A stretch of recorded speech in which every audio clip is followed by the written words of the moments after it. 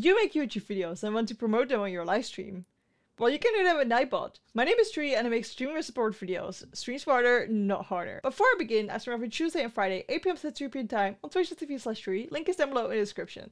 What we need to do is we go to nightbot.tv and click on login. Login with your Twitch or YouTube. Make sure this says Part channel. If it says join channel, click on it. If it says Part channel, do not click on it. Then we go to command, custom, and add a new command. You can call it video, last video, latest video, what you want. I'm just gonna do it exclamation mark video at the moment. The message. What you want to do is open the description of this video and copy the link. Because YouTube shortens links sometimes, I have add an enter in between.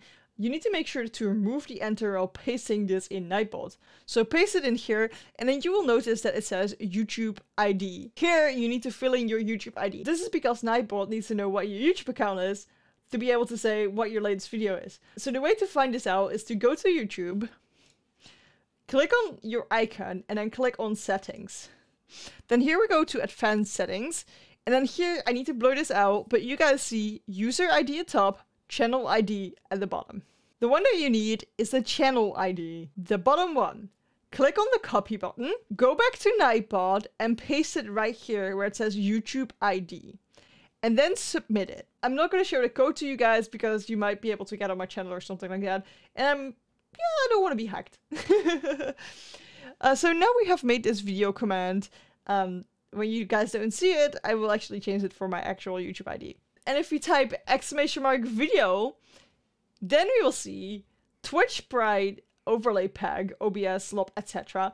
And then we have the video here. So what it does is it puts the title here and then it gets the video link in here and you can hover over it as well. So that's actually how easy it is to promote your YouTube video on your Twitch. What you can also do is you can also put it in a timer. So if you actually go to timers instead and then add one, we can here put in the message. We can put in the link with the YouTube ID in here and then give it some name. It doesn't matter what. And then it will promote your video every single 5 minutes, 15 minutes, whatever you choose it to be. I've set it up like that, so my latest video automatically gets promoted and I don't have to change what the latest video is every time because the API does that for me. I recently made a new channel where I only play games. If you guys like that, make sure to subscribe to that channel. I will leave it somewhere here. And I'm pretty sure you're setting up more Nightbot things, so let me show you how to set up Nightbot and more commands and stuff like that in this Nightbot playlist.